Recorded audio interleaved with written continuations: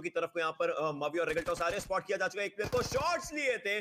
थोड़ी सी मुश्किल हुई। अब बैकएंड पर आ चुके हैं और डेस्ट्रो की एचपी भी कम है और वो दूसरे एंगल से स्पॉट राइट एंड यहाँ पे अगर आप देखो जिस तरह से इन लोग मूव इन कर रहे हैं डेस्ट्रो पिक ऑफ़ किए मवी को एंड यहाँ पे इंस्टेंटली कवर फायर आया आदित्य के तरफ़ से एंड यहाँ पे काफ़ी ज़्यादा ट्रबल मॉटल के टीम के लिए। दो प्लेयर्स डाउन है। स्काउट और मॉटल को इंस्टेंटली मूव इन करना होगा। पीछे से बैकअप भी आ रहे हैं। वैक्सी और आदित्य वहाँ पे शायद उनको डिफेंड करना चाहेंगे। बट नो वहाँ पे स्काउट कवर फायर दे रहे हैं। ऊपर जाके रिवाइव का, का प्रोसेस ऑलरेडी स्टार्ट हो चुका है। डेस्ट्रो को अभी तक फिनिश नहीं किया गया है। जो अब स्काउट आके कंफर्म करेंगे यहाँ पे पुश हो चुका है। वैक्सी का पुश आते हुए it's a two V two situation पर Mortal is on revive right now what do think question I would see you know what happens because Scout भी हल्का सा बैक एंड पर है और यहाँ पर वेक्सी बिल्कुल एक आगे का अच्छा खासा भार अपने लिए संभाल सकते हैं। He just to move forward to take up all these fights और वो धीरे-धीरे कोशिश कर भी रहे बट उनको ये पता रहना चाहिए कि उन्होंने भी अपने एक प्लेयर को खो दिया है। So now he just have to you know move up forward Clash Universe एक दूसरे एंगल को होल्ड कर रहे हैं और साइड पर वहीं पर फाइट शुरू हो चुकी है, जहाँ पर हल्के-फुल्के शॉट्स लिए ज़रूर गए थे।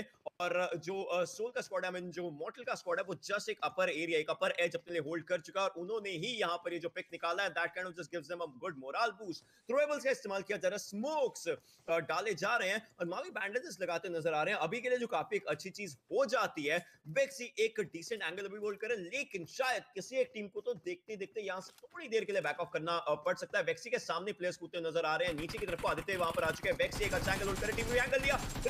डाउन कर चुके हैं। इसी साइड पर फिर से किसी की जाना चाहेंगे बट ट्रेड्स आते हुए स्काउट आदित्य और मॉडल को डाउन कर चुके बट स्काउट ने यहाँ पर एक और प्लेयर को डाउन कर दिया। गन चेंज करते नज़र आएँगे। रीलोड पर जाती हुई उनकी गन